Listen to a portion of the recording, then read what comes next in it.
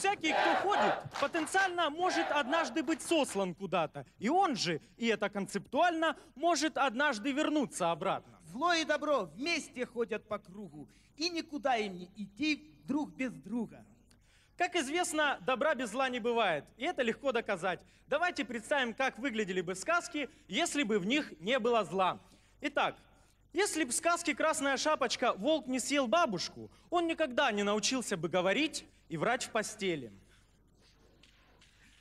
Если бы не зло в сказке «Волшебник изумрудного города», Элли бы никогда не кричала «Друзья, а давайте заделаем дровосека под медь, так реально дороже».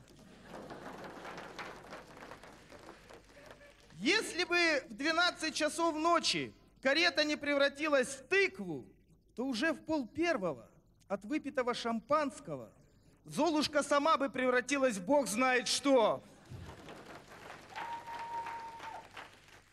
Если бы не зло в лице переводчика, мы бы никогда не узнали, что в переводе на украинский лягушка-путешественница звучит как жаба-мандревниця. А теперь мы вам покажем, что и без добра в сказке не обойтись.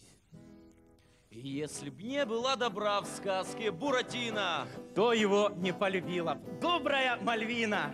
Брюс бы Виллис сплоховал в пятом элементе. Колобок бы назывался Берия Лаврентий. Голым бы король не был, не дразнил прохожих. Жил был пес, был бы не жил. Тоже, тоже, тоже. Не проткни бы Буратино носом холст и ветошь. Не сыграл бы Карабаса. Этуш, этуш, этуш. Кабы денег миллион, а не восемь двести. То рожать детишек бабам было б интересней.